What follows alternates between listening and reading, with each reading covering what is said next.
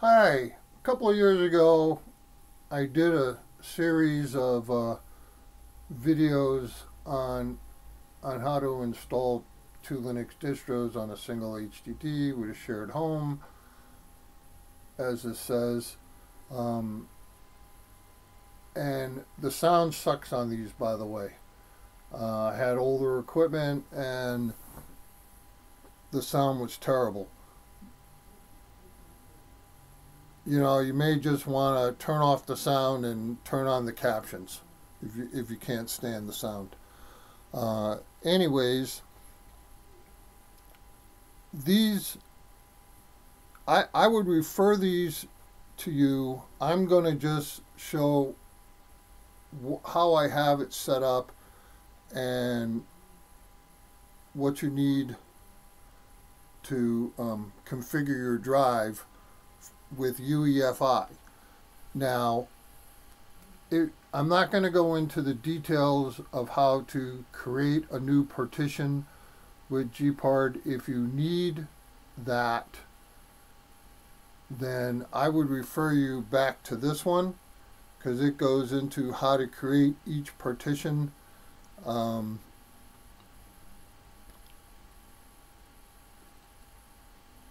but one thing I want to caution you here is two years ago, Pop OS was based on Ubuntu 18.04 and it was had a grub bootloader and Mint was also based on 18.04. So they were very similar and even though they had different desktop environments, DE, they they could share because they used the same repos and they had the exact same application versions. That is no longer true. And I I cannot recommend at this point that you share Pop OS with any other distro mostly because it now uses systemd instead of the boot the grub bootloader. And there is a way to do that but it's extremely painful. And there are so many differences now between the mint 20 and ubuntu and pop os and ubuntu that sharing a home with with Mint 20 is no longer viable. So I would refer to these for the techniques, but not actually doing this. So the techniques for creating creating the um, partitions, the techniques for installing a distro, the first distro, the technique for installing a second distro and and you know using the shared home if that's what you're going to do. I, again there are very few distros nowadays that you can share distros between uh, shared homes between the distros.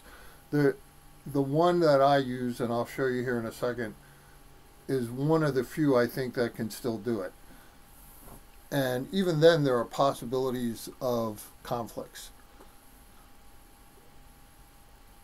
So here's what my drive looks like. I'm I can boot um, Mint 20, that's the Mint root. I can boot LMDE4 and it Mint 20 and LMDE4 use the same home because they're extremely close. Now, because they use different repos, there are the possibilities of running into conflicts between versions of applications. Uh, Firefox, I've run into. Now, eventually they kind of catch up with each other. But I don't use Mint very often anymore. So, so if it's something you're going to jump back and forth to a lot, you know, you're almost better off rather than having a shared home, having some kind of shared um, data storage. Um, I Timeshift. Everything is on Timeshift. Uh, all time shifts are on that one. Backups. Doesn't have to be exFAT if you're just sharing um, with um, other Linux ext4, but backups is where all my backups are. Now, in this case, I'm using exFAT because I share this with Windows. Um, and it's a way to share files between Windows 10 and Linux that I find, yes, there are other ways, but I find this way, um, I, I, to me, the easiest, and I like it. Setup is not the easiest because you need to, for most Linux distros, install exFAT um, support, but that, that's a single sudo apt install exFAT dash utils. You know, so that that's not a big deal. Um, you gpard cannot read or create an exFAT partition, so you'll need to use something like the disks program that comes with most Debian based systems. I don't know if it also comes with Arch or others. And this, it will, it can deal with exFAT. So I created on this, but I'm more comfortable with GPart. So I do everything else with GPart. But, but as you can see, you can, you can, you can create it with disks and see it with disks. You just can't with gpard. But, you know, now also with Windows 10 you have to add exFAT support that I found. And that's another whole video. I mean, that's another whole discussion, um, sharing exFAT. But I just want to show you that that's what I'm having here. Um, MX Linux, I do not share its home. It's very small. I don't I don't use it a lot. I use it mostly to you know jump in and see what it's doing and and help other users. Um, I like it. Uh, if LMDE4 wasn't around, I would probably use it instead. Um, but I'm very comfortable with Mint, and I've also found that because LMDE is Debian 10 based, it's easy to use other um, desktop environments. They're all in the repos. Uh, you know, people will complain, oh, it only comes in one flavor. Yeah, but it's easy enough. I, I have it on a Dell XPS 11 touchscreen running with GNOME because GNOME is much better at handling touchscreen devices than any other desktop environment. Um, it handled, well, anyways. Um, so, you got to start with after you create your partition table, and of course, this is not going to let me do it, but after you create your partition table as a GPT, not MS DOS, GPT, um, then you're going to first off create a FAT32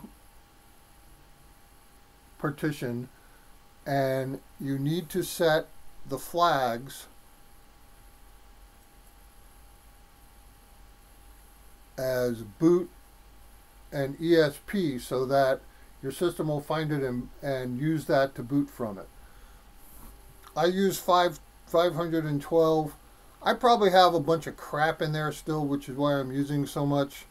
Um, because I've done added, added and taken off so many different ones that I haven't cleaned it up. Um, I need to go and clean it up. Um,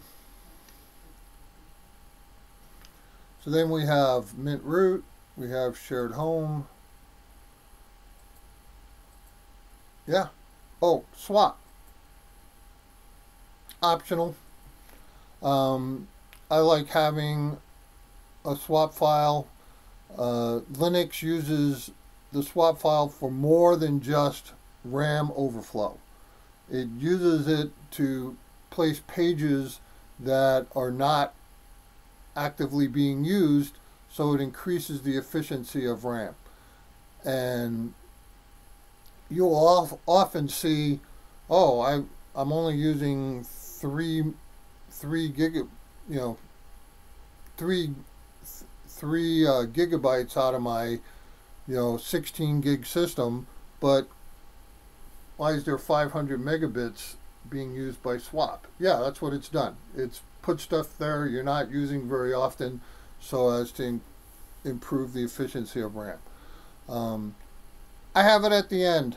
I no longer do it this way. I did it this way way back when I first started doing this, and I now put swap right after um, the the the FAT32 to give me more room to move things around on the rest of the drive if I need to.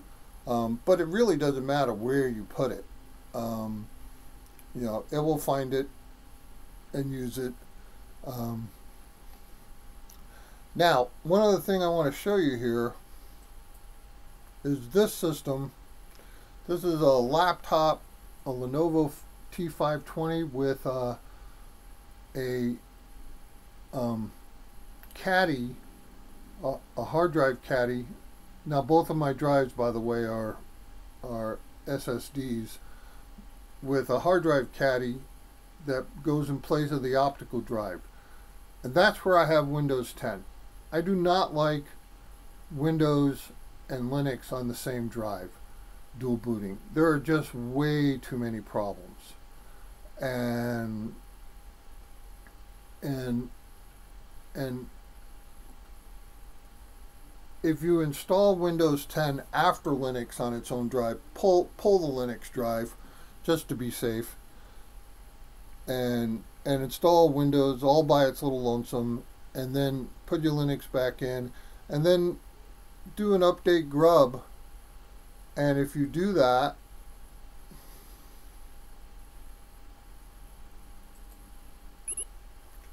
Grub will find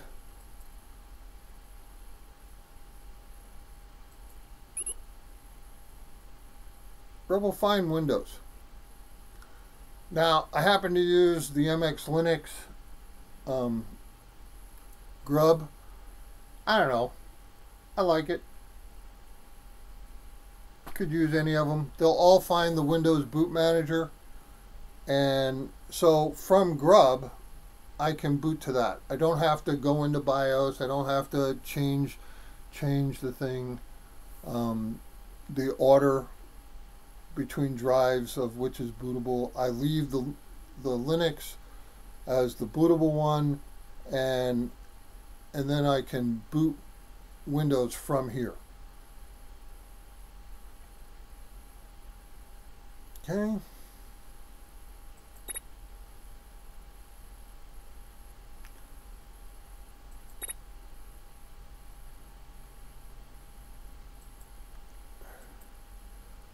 know, I don't have much more to say.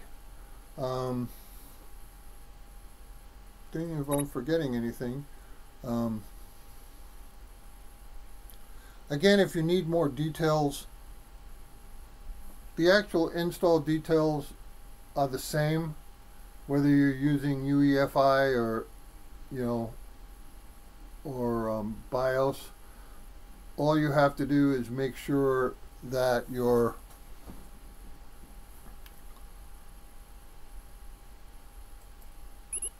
that your USB stick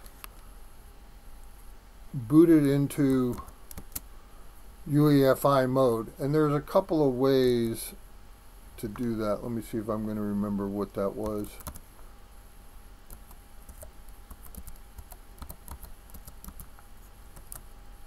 Okay, So,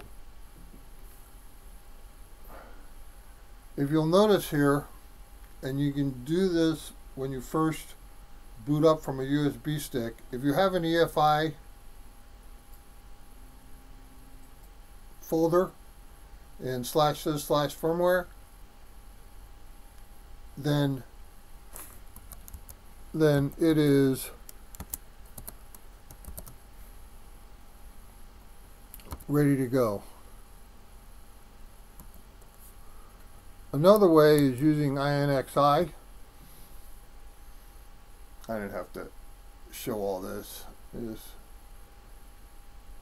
okay. Under machine shows what the laptop is. And this is either going to say UEFI or BIOS. Now, not all distros come with INXI on the USB stick, um, which is why I showed the other method as well. Um,